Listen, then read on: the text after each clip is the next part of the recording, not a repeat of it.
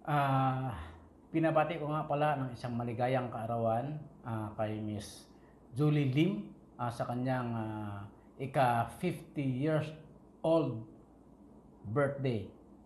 Ah, you know, ah, golden birthday mo. Ah, ang masasabi ko lang ah, naway ah, humaba pa ang iyong buhay at sana gabayan ka ng ating ah, mahal na Panginoon naway ah, dumami pa ang birthday na darating sa iyo. Ah, huwag ka mag-alala at ah, nandito si Manny Paxio na laging nakasuporta sa iyo. Good luck once again. ah, happy happy birthday sa iyo at ah, i-enjoy mo ang iyong karawan. Maraming salamat sa iyo. Good luck. Once again, happy happy birthday. Ang masasabi ko lang sa iyo, laging magdasal sa Panginoon. God is good all the time. Alright. Happy birthday!